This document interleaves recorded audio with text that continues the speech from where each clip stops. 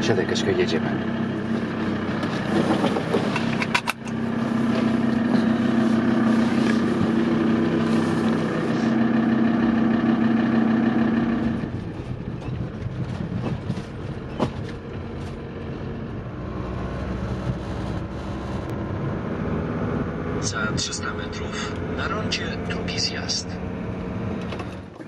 8 rano. No. Jesteśmy pod e, zakładem naprawczym, jak się nazywa? Mechanik samochodowy, pod mechanikiem samochodowym, bo wczoraj wczoraj przyjechaliśmy do Lagos na sushi i jak przyjechaliśmy na parking, to pedał gazu przestał działać. A ostatnio na live wam mówiłem o tym, że coś się dzieje z silnikiem i niskie obroty są wysokie i po prostu coś tam skacze. Ja troszeczkę to zlekceważyłem przez dwa tygodnie, nie pojechałem do mechanika i olałem to, bo po prostu działało, dało się jeździć. Ale wczoraj na ten parking pełen samochodów i nagle ten samochód stracił moc, to się wystraszyłem. Ale na szczęście odpaliłem go jeszcze raz i się udało. Natomiast no, znaleźliśmy e, mechanika niedaleko tego parkingu no i przyjechaliśmy z 8 rano i czekamy, chcemy być pierwsi, żeby, e, no, żeby po prostu ktoś na to popatrzył i naprawił usterkę. A w Portugalii teraz jest e, taki stan wyjątkowy z ulegania koronawirusa i wszystkie nie takie pilne rzeczy e, są pozamykane, czyli wszyscy, wszyscy fryzjerzy, zakłady mechaniczne, wszystko jest do 10 pozamykane, tylko piekarnie i jakieś sklepy spożywcze mogą być przed 10 otwarte, a od 10 w- do 10 wszystko zamknięte, więc ten mechanik też do 10. Wracamy dwie godziny. Wracamy do spania? No tak. Nie, chodźmy na spacer. Siadanko, powoli siadanko i będziemy w kontakcie. Um, Zostawiłem kluczyki, umówiłem się z mechanikiem, znaczy z panią, która pracuje na recepcji i wytłumaczyłem jej wszystko, co się wydarzyło. Najgorsze jest to, że dzisiaj wszystko jest super, że po prostu dzisiaj samochód fantastycznie działa, ale wydaje mi się, że ja poruszałem ten czujnik od pedału gazu, to samo co się zepsuło dwa lata temu i rok temu i już to wymienialiśmy na no, używane, ale na nowe, nowe używane i to się, wydaje mi się, że to jest to, bo ja to poruszyłem dzisiaj i kabelki i te linki i dzisiaj samochód po prostu działa jak nówka. No i to też powiedziałem tej pani, zaczęła się śmiać. E, No, dosyć często tak jest, że samochód się sam naprawia, jak tylko słyszę o mechaniku, ale tak czy inaczej zamówiłem diagnostę, powiedziała, że podłączy do komputera, sprawdzą to wszystko, daję mi kluczyki, e, no i czekamy aż przyjdzie ten mechanik i zabierze auto. Ale dzisiaj nie naprawiam, nawet jeżeli zdiagnozują, to nie naprawiam tego dzisiaj. Zobaczymy. Co ma być, to będzie. No i nic się nie dowiedzieli. Próbował ten pan podłączyć komputer do naszego samochodu. Długo próbował, naprawdę was godzinę próbował. Nie udało mu się, próbował różne urządzenia, bo u nas ta, ta wtyczka jest taka trochę zabrudzona i on no na nich chyba nie do końca działa, więc wiem, że to po prostu był z tą wtyczką już wcześniej problem. W każdym bądź razie oni powiedzieli, że nic nie mogą zrobić, oddali kluczyki, powiedzieli, że nic nie płacę, bo oni nie są w stanie i w przyszłości jakbym zepsuł sobie ten samochód bardziej, no to oni też nie naprawią go, bo nie są w stanie sprawdzić, co się zepsuło, bo wierzą tylko komputerowi. No nic. Póki co, póki jeździ, to będziemy, będziemy działać. Potem najwyżej będziemy kombinować, jak się zepsuje całkiem, rozkraczy na ulicy. I tak, czyli mamy trochę zepsuty samochód, ale nie całkiem, bo nadal jeździ. E, Nie umiemy rozwiązać tego problemu, ale się nie przejmujemy. I to jest przeciekawe, bo jeszcze pewnie rok temu byśmy panikowali i bylibyśmy cali roztrzęsieni e, i na pewno nie planowalibyśmy spokojnie dnia, tylko jechalibyśmy do kolejnego mechanika. A teraz wychodzimy z założenia, że no trudno, no ten mechanik sobie nie poradził, prawdopodobnie większość nie będzie sobie była w stanie poradzić, więc cóż, czekamy. Łukasz trochę poruszał kabelkami, trochę zaczęło to auto jakby równo chodzić, no i po prostu jedziemy dalej. I to jest taka chyba nauka, którą właśnie wyciągnęliśmy z naszej podróży, że żeby niepotrzebnie się nie stresować nie denerwować i nie przywiązywać emocjonalnie do sytuacji, na które tak naprawdę nie mamy wpływu, a poradzimy sobie z każdym problemem. Więc to jest taka nauka, e, jaką dało nam podróżowanie. I tak sobie pomyślałam, że może to jest, e, bo już od jakiegoś czasu kusi mnie, żeby zrobić taki, taki troszkę refleksyjny odcinek, właśnie, żeby trochę Wam opowiedzieć, kim jesteśmy dzisiaj e, po dwóch i pół latach podróżowania. Jak zmieniło nas nasza przygoda, zarówno właśnie ta vanlife'owa, jak i ta związana z YouTube'em, bo to wszystko się łączy. I w takim razie dzisiaj będzie właśnie taki odcinek. Dobra? Bardzo dobry pomysł.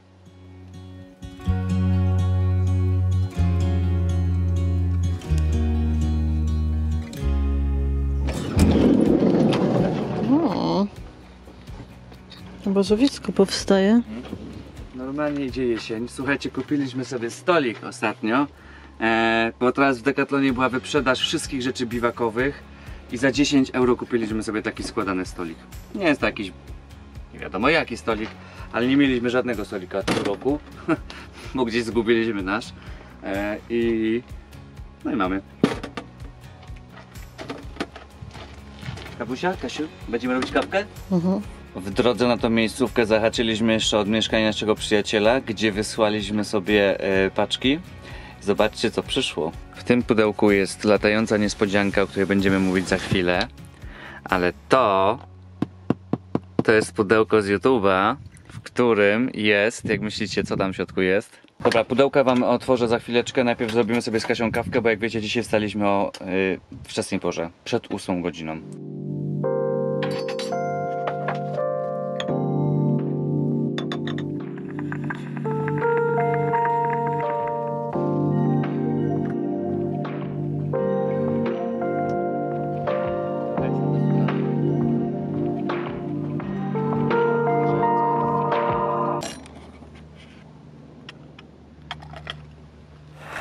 No i teraz jest najważniejszy moment, moment, na który czekaliśmy już dwa lata. W zasadzie to może nie czekaliśmy dwa lata, ale długo czekaliśmy. Mieliśmy nadzieję, że to Mieliśmy się nadzieję, wydarzy. że to się wydarzy.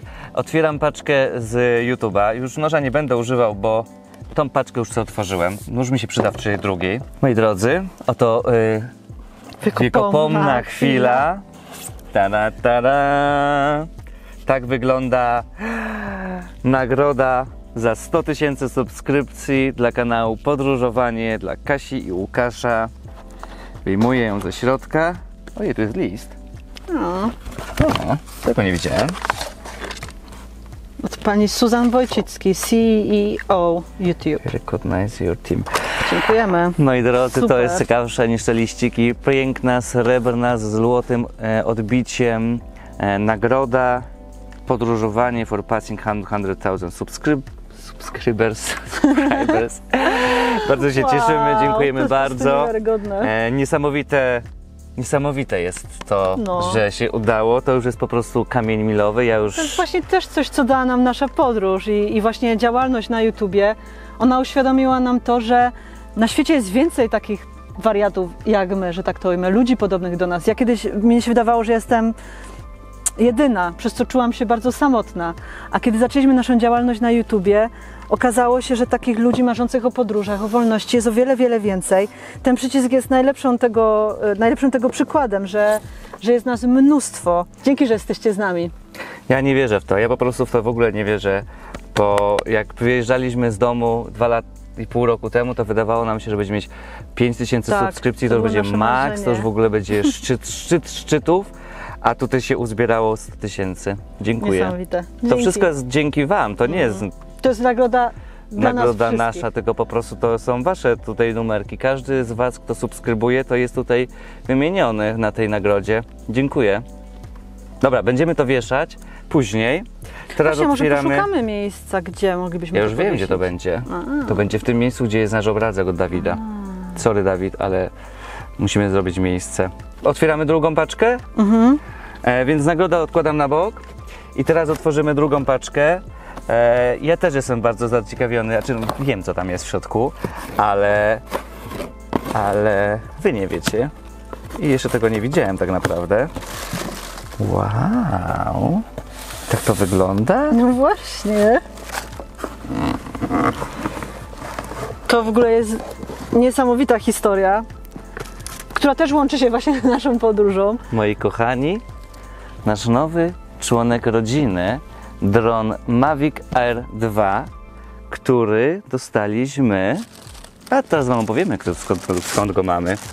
To jest nasz nowy dron, moi drodzy. Jeszcze nie mamy dla niego imienia. Jeżeli e, ktoś z Was ma pomysł na to, jak nazwać drona pięknie, to, to nam podeślijcie. Teraz w ogóle historia, jak to się stało, że mamy tego drona, bo no nie kupiliśmy go, od razu Wam powiem. Okazało się, że Zgubiliśmy drona po prostu. Taka jest prawda.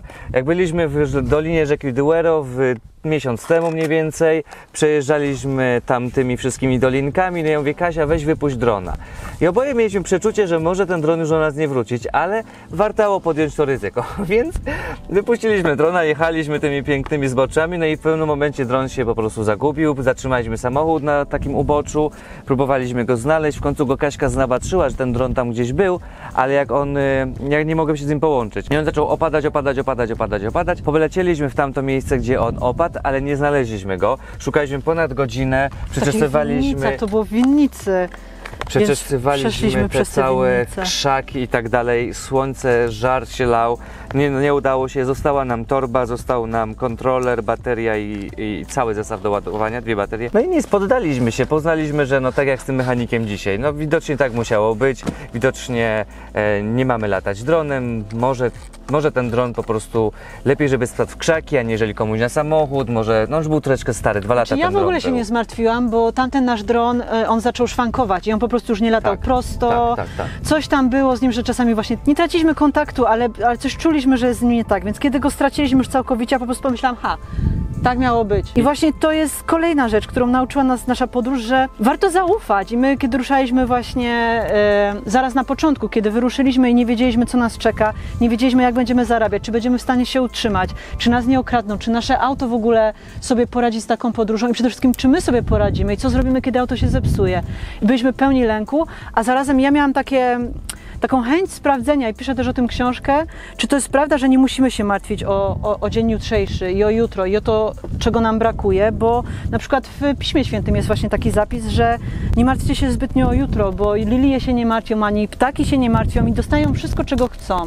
I kiedy ruszaliśmy w podróż właśnie, ja stwierdziłam, że to będzie taki, taki nasz test, taki, taki właśnie sprawdzian, czy to, czy to jest prawda, czy, czy jest coś takiego, że jeśli mocno czegoś potrzebujemy i wysyłamy tą jakby świadomie takie pragnienie, intencje w świat, można to nazwać modlitwą, można właśnie intencją, to wiele ludzi mówi o tym, że, że to wraca. No i właśnie kiedy spadł nam ten dron, ja pomyślałam, działaj, świecie, Panie Boże, działaj. E, Jeśli ma dron się pojawić w naszym życiu nowy, no to teraz jest idealny moment i po prostu proszę o to, żeby on się jakoś pojawił. Nie wiem, czy ktoś będzie miał do sprzedania, czy może trafimy. No nie wiedziałam, jak to się wydarzy. Po prostu dałam światu wolną rękę. No i tak się stało. I po prostu napisał do nas DJI Ars i zaproponował dron do testów. Także my jesteśmy żywym przykładem na to, że tak działa. Nie umiem do końca powiedzieć, od czego to zależy, bo to nie jest tylko pozytywne myślenie, to jest coś głębiej. Także jeśli wy macie jakieś refleksje, napiszcie nam w komentarzu, jak, czy znacie to, to, to doświadczenie, o czym my piszemy, że, no, że ktoś po prostu, góra o nas dba i daje nam to, czego naprawdę potrzebujemy. Dobra, testujemy drona. To, o czym Kasia mówi, to wydaje mi się, że to jest siła przyciągania. E, To jest takie zjawisko opisane na przykład w książce Potęga podświadomości. Bardzo serdecznie polecam wszystkim przeczytać taką książkę, bo to jest taka książka, która otwiera oczy na rzeczy i tłumaczy rzeczy, które się wydarzyły w naszym życiu. Wiele osób nazywa to przypadkiem, natomiast ja wierzę, że jest siła wyższa nad nami, że jest ktoś, kto tym wszystkim steruje e, i no wystarczy się na to otworzyć. E, ja na pewno mi, mi bardzo pomogło, żeby to zrozumieć. To pomogło mi e, przeczytanie książki właśnie Potęga Podświadomości. Jest dużo jeszcze innych książek, które o tym samym mówią. Bata Pawlikowska napisała bardzo fajne e, książki też o świadomości, e, o przyciąganiu, o życiu tu i teraz, więc polecam. A ja w międzyczasie podłączyłem nasze akumulatorki do ładowania, ale fajnie się tutaj świecą takie diody. No i tyle. Czekam aż się naładuje będziemy później latać.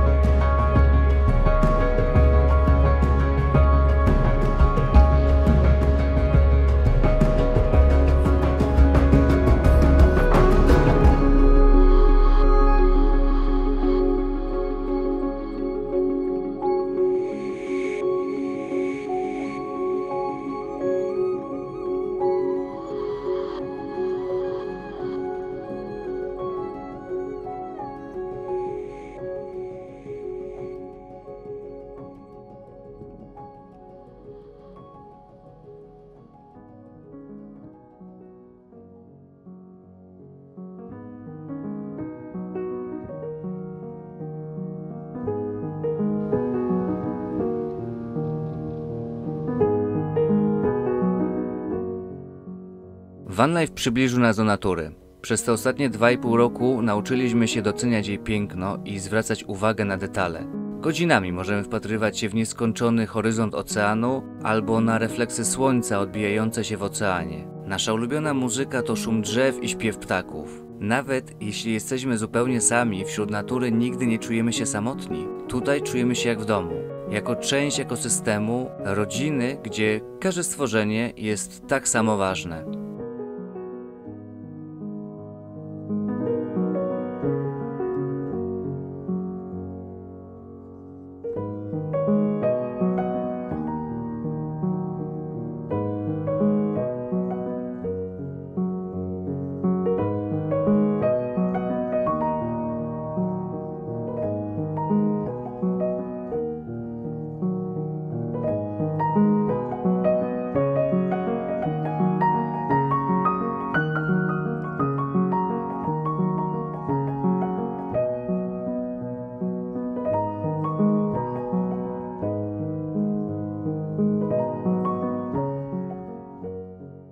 Żeby trochę sobie zaoszczędzić drogi, zeszliśmy e, skrót, na skrót, czyli na dno jeziora. I zobaczcie, tutaj są nawet Muszelki. muszelki, mimo że jesteśmy oddaleni od morza i oceanu.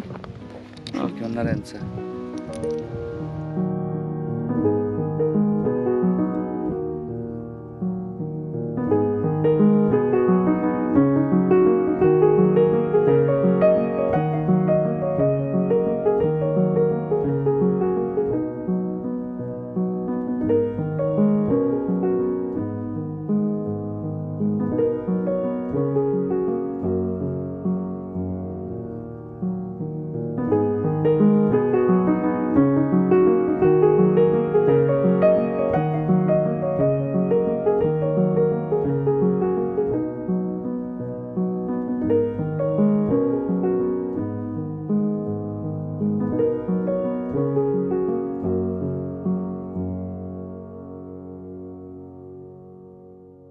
Doszliśmy na miejsce. Niestety nie udało nam się dotrzeć do samego końca tego cypelku, który myśleliśmy na początku, ale no życie, tak to bywa, że czasami trzeba zatrzymać się w pewnym momencie i powiedzieć basta. Jakbyśmy chcieli kontynuować, to jeszcze pewnie za 3 godziny byśmy szli, a już mamy dość. Postanowiłem wykorzystać tą e, okoliczność przyrody, żeby opowiedzieć o kolejnej rzeczy, której się nauczyliśmy podczas e, tych dwóch lat życia w Wanie. Bardziej takiej nie nauczyliśmy, tylko co doświadczyliśmy. To na pewno nasz związek, bo no, no mój i Kasi, no niesamowicie zcementowany i niesamowicie się połączyliśmy. Przez te dwa lata, ponad dwa lata życia na jednej przestrzeni, malutkiej przestrzeni, dzieląc ze sobą każdy centymetr po prostu tego wana, dzieląc każdy moment, każdą minutę, sekundę, no po prostu się tak połączyliśmy, że ja sobie nie wyobrażam, żebyśmy kiedykolwiek mogli się rozerwać, aby ktokolwiek, cokolwiek się pojawiło, co by zepsuło ten nasz związek. I ostatnio właśnie miałem taką refleksja, jak oglądaliśmy jakiś tam film, gdzieś kogoś, jakiś facet jakąś żonę zdradził i tak dalej, ukrywał SMS-y i te sprawy.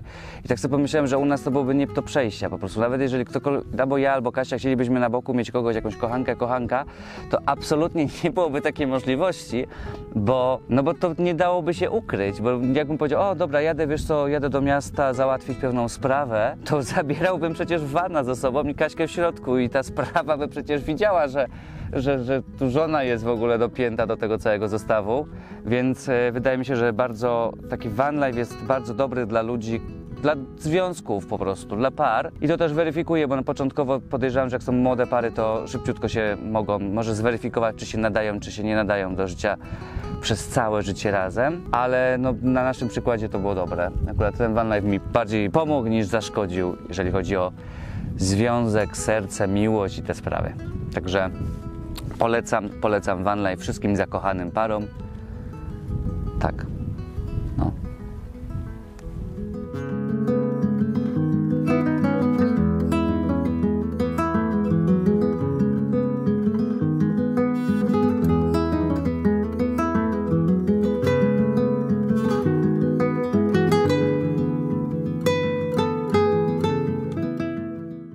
Wróciliśmy do Wana.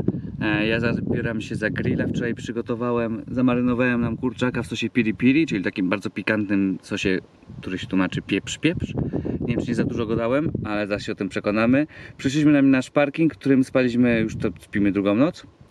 I jest poza nami kilka innych kamperów. Poznaliśmy takich Niemców, którzy właśnie są na emeryturze i też podróżują kamperem. Przesympatyczna para. E, dobra, zabieram się za grillowanie. Kasia robi sałatkę. I kończymy dzisiejszy dzień w zachodzie słońca.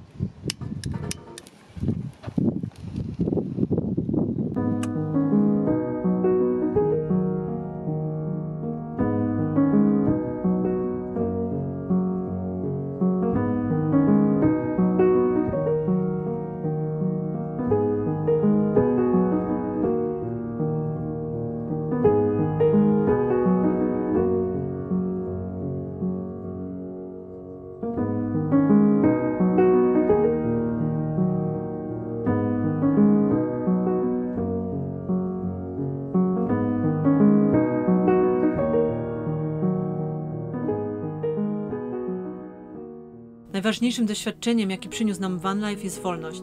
Ponieważ naszym domem jest samochód, w gruncie rzeczy niewielkich rozmiarów, możemy nim swobodnie się poruszać i prawie wszędzie zatrzymać. To od nas zależy, gdzie spędzimy noc, co będziemy robić, w jakim kraju zatrzymamy się na dłużej. Fakt, że wyrwaliśmy się ze schematów i systemu, sprawił, że mamy pełną decyzyjność nad tym, co dzieje się z nami, co robimy z naszym czasem.